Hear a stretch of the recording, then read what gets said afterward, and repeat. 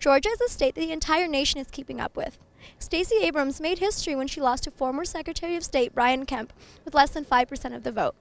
Georgia is not out of the news quite yet because there's a scheduled runoff. Former U.S. Representative John Barrow and State Representative Brad Raffensperger advanced to a runoff, defeating Libertarian Smythe DuVal in the general election. On November 26th, President Trump endorsed Brad Raffensperger.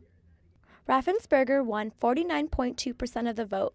He is the CEO and owner of Tendon Systems. His goal as Secretary of State is to make Georgia the best place to get a job and the best place to start a business. Construction's up and it's down, kind of like campaigns.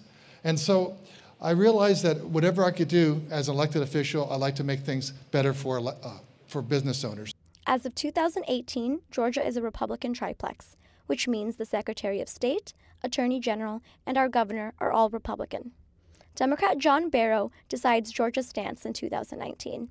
He is a former judge and U.S. Representative for Georgia's 12th Congressional District.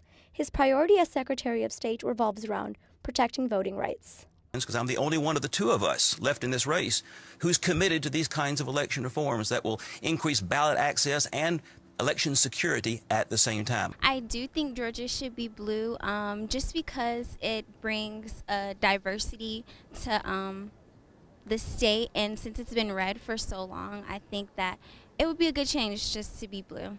There are hundreds of thousands of unregistered voters in Georgia. What do you think of that?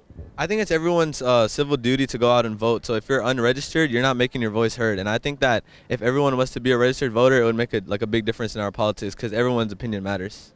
Well, as a Democrat, I feel that we're not being represented by the Georgia by Georgia being completely red. So I feel like there should be some blue so that we Democrats feel more represented in our state. This Secretary of State race determines Georgia's status in 2019. As Georgia State students, we have from now to December 4th to go vote and let our voices be heard. From Atlanta, I'm Shanila Kabir for Panther Report.